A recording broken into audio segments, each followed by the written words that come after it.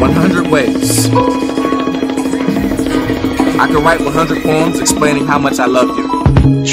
Instead, I'll love you in 100 ways. March 2013. The greatest. I am the greatest. I've always known I was born for this, on purpose. I've always known I was born for this. I've always known I was born on purpose. I was always born to be the greatest. When your mother was this and your father is this. It's by no accident that you're born this. So I'll say this, as you already know. I am the greatest. And I'll say that until I'm dead. March 2013. Right there, baby.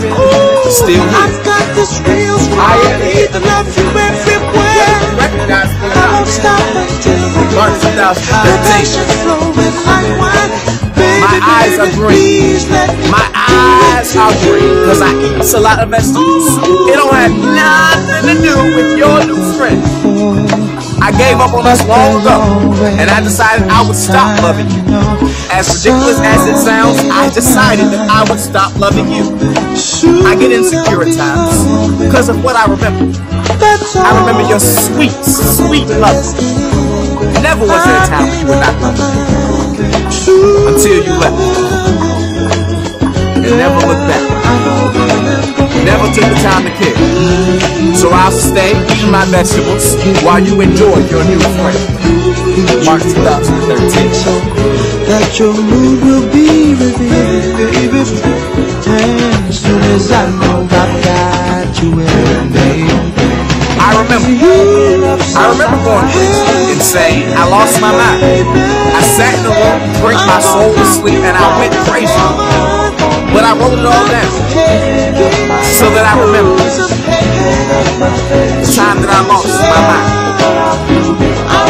I kept track of the time. And now I am but a man.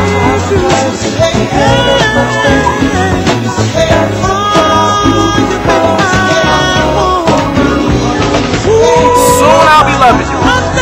I'll make love to you the way we used to, honey. I'll do it, darling. I'll marry you. I'll be your one and only. I made up my mind, and that's what we're gonna do. Soon I'll be loving you again. I can't wait to groove. I can't wait to sing. I can't wait to send you off me all again. Groove me, honey. Kiss me, darling. Soon I'll be loving you again. Ah, hey, man. March 2013. I ain't going nowhere. I'm staying. I'm standing right here outside your window and I ain't going nowhere. I'll stand here all night if I have to. Singing, hoping to trigger a memory. I ain't going nowhere. I'll camp out here if I have to. I don't mind being lonely. I'll stand here all night singing all my own songs, humming to the memory of us. I ain't going nowhere. I'll try and wait for you. But you know a man's feet get tired. I get weak. I get lonely. Still, I ain't going nowhere. March 2013.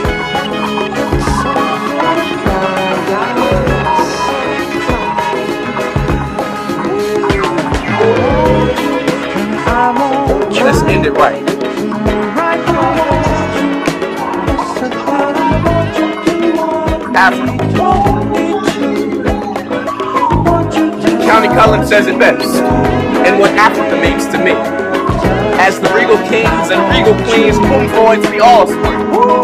But today, here, we sing America, begging for our seat at an unwanted kitchen table, and using forks. But back home in Africa, I hear stories of the regal kings and the regal queens that wrapped their parents' bodies and laid their souls to sleep in pyramids. In pyramids were their parents' souls to pass and walk by each day. But here, here in America, we bury our parents. And to hell with their souls, we say. A man civilizes us and teaches us his beginnings and even tells us what to dream. However, I can't stop hearing about regal kings and their regal queens and their Nubian faces that look just like mine. Their souls feel just like mine. Stolen, fatherless, the sons of great mothers. In America, we're supposed to smile and believe a history that begins in 1607. But who is Christopher Columbus? Who is Queen Elizabeth? And what the hell was going on in 1606? We weren't born for this. We weren't sitting in huts waiting to be saved. We are the sons of Moses, wrapped tightly in big baskets to be shipped to fucking America.